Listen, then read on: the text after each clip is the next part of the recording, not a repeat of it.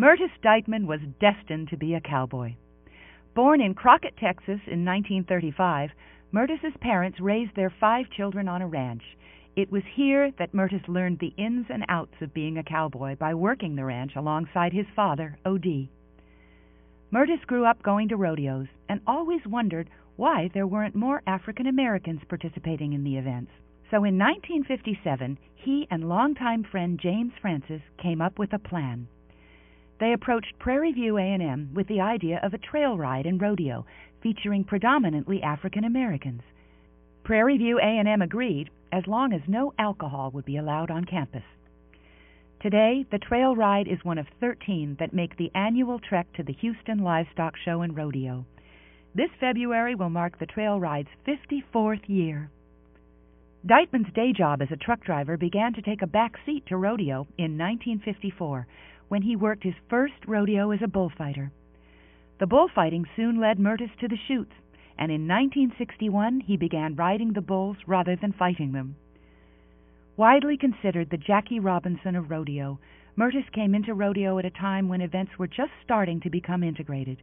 In 1966, Dightman became the first African American to qualify for the National Finals Rodeo. The Crockett Cowboy would go on to compete in six more national finals, finishing third place at his highest. Although he never wore a world champion buckle, Myrtis was not deterred and would go on to win several big time bull riding events, including Cheyenne and Calgary. In 1971, Myrtis took his talents to the silver screen, doing stunts and starring alongside Cliff Robertson in the film J.W. Coop. Here's one of the world's leading bull riders, Myrtis.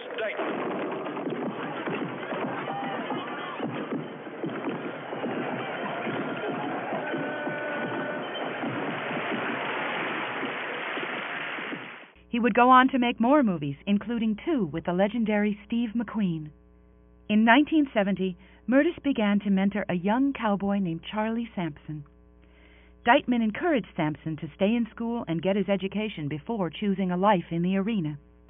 Under Dightman's tutelage, Sampson would become the first African American to win the bull riding championship at the national finals in 1982.